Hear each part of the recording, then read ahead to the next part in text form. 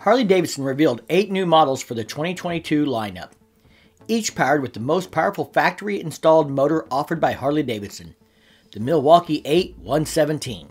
Hello everyone, I am Mike and welcome to New Bike Mike where I like to share information on new bikes that I find interesting.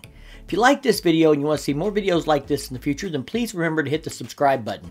After all, it is free. Harley Davidson revealed eight new models which consisted of two cruisers, the new Lowrider S and the Lowrider ST two new performance-oriented baggers, the Street Glide ST and the Road Glide ST. The remaining four models are all from the Custom Vehicle Operations Group and include the CVO Street Glide, CVO Road Glide, a CVO Trike, and for 2022 we get a CVO Road Glide Limited to replace the CVO Limited that was offered last year. Today we're going to look at each of these models briefly, but don't worry, I will be featuring many of these models in a dedicated video in the near future. That way we can really dig into these new models and learn more about them. Before we get started, I want to mention some things that these bikes all have in common. All of these models are fitted with the Milwaukee 8 117 motor, which has 126 foot-pounds of torque and 106 horsepower. Also, the ST models and the Lowrider S are only available in Vivid Black or Gunship Gray. 1. The Lowrider S. This model originated in 1977 while it has disappeared occasionally from the lineup over the years, it is still one of the most popular models in the Harley Cruiser lineup. Now, in 2022, it is the first of the existing Softail models to get fitted with the Milwaukee 8117 powertrain. The powertrain, front end, and exhaust are totally blacked out, with a radiate cast aluminum wheel, 19 inch front and 16 inch rear diameter, finished in matte dark bronze to contrast the motorcycle's dark components. For 2022, the Lowrider S got a new handlebar mounted combination analog tachometer and digital speedometer, which replaces the iconic tank console instrumentation as seen on the previous Lowrider S models. The handlebar location places the gauges closer to the rider's line of sight. A low profile textured black tank console with the FXLRS badge now tops the fuel tank. Outstanding lighting performance is provided by signature LED headlamps and an LED tail light and brake light. A taller rear monoshock is featured in the rear of the Lowrider S this year and it raises the bike up for improved rider comfort and about 1.3 degrees of more lean angle than the 2021 Lowrider S. As a result, we'll see more ground clearance also. An under-the-seat hydraulic preload adjustment allows the rider to adjust the suspension performance for their preference. The 43mm inverted front fork remains unchanged as well as the dual front disc brakes which include ABS standard. 2. Lowrider ST Many people have asked what the ST actually stands for. Well, in the press release by the motor company, it says, This is how Harley Davidson does sport touring. So now we can assume the ST stands for sport touring. The most striking feature on this new model is the frame mounted fairing, which has a shape inspired by the classic FXRT Sport Glide. The sharper creases and revised proportions in the Lowrider ST fairing provide a look that is intended to be modern, athletic, and aerodynamically superior to the FXRT fairing, yet reminiscent of that classic FXRT style. And I think Harley Davidson absolutely nailed this fairing. This model is probably one of the most exciting products seen from Harley Davidson in recent years outside of the new Revolution Max powered models. The new frame mounted fairing has triple split stream vents to help limit rider head buffeting at highway speeds. The windshield is 6 inches high and comes in dark smoke tint. And the fairing has a single 5 and 3 quarter inch LED headlight. This model also gets the lockable, rigid clamshell saddlebags from the Sport Glide. The bags can be opened with one hand by a seated rider, and a dampening device allows the saddlebag lids to open smoothly.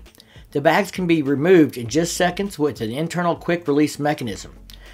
The combined saddlebag capacity is 1.9 cubic feet. The raised fitment of the saddlebags high above the exhaust reminds us that this bike is built with performance in mind and that the bags won't be the first thing you scrape in a lean. The same taller rear monoshock featured in the Lowrider S model is found on the ST, as well as the same inverted front forks and dual disc brakes. The ST has a 4-inch pullback riser and instrumentation is provided by a compact digital display that is inserted into the handlebar risers that looks like what we have seen on the Street Bob 114 and the Softail Standard. The fairing does not have gauges or audio functionality in stock form, yet Rockford Fosgate offers an in-fairing audio kit that was designed alongside the Lowrider ST. The system includes a compact 250 watt amplifier and a pair of 5 and a quarter inch woofers with two remote tweeters. It connects to a mobile device via Bluetooth to play stored or streaming audio. 3 and 4 Street Glide ST and Road Glide ST. I believe these models are inspired by the Moto America King of Baggers race bikes. Performance baggers have been a growing trend for several years now, and Harley Davidson is offering you a bagger that is more suited for those kind of custom builds. As we mentioned, these models are powered by the M8 117 powertrain that is blacked out with the bronze trim. No chrome finishes are available on these ST models. The front fender is trimmed for a more sporty profile and a lighter look, and standard height saddlebags replace the extended bags you'll find on the special models. A new solo seat gives this bagger a lean and aggressive look. A standard height rear shock also provides a little more suspension travel in the rear and gives these models a little bit more of a performance look, but they still offer great touring features like cruise control, GPS, infotainment, smart security system with proximity-based fob, just like the respective special models. The last four models are from the CVO family. If you didn't know, CVO stands for Custom Vehicle Operations, which just basically means that these are the top of the line, most customized and decked out production bikes from Harley Davidson. Prior to 2022, only the CVO models had the 117 powertrain. Unlike the Lowrider S and ST models, we get more options for color and finish combinations, and the colors are unique to the CVOs and not something you'll find on other production models in 2022. CVOs also come standard with Cornering Rider Safety Enhancements by Harley Davidson, which is a suite of rider aids and TPMS. The CVOs also get high performance motorcycle audio powered by Rockford Fosgate as well. 5. CVO Street Glide. In 2022, we have three new paint options. First, Hightail Yellow Pearl, Black Hole with lightning silver, two-tone, and bright chrome finishes. The second is Envious Green with Black Hole Fade, with a flame pattern and gloss black finishes. And the third is blue steel solid color with scorched chrome finishes. 6. CVO Road Glide.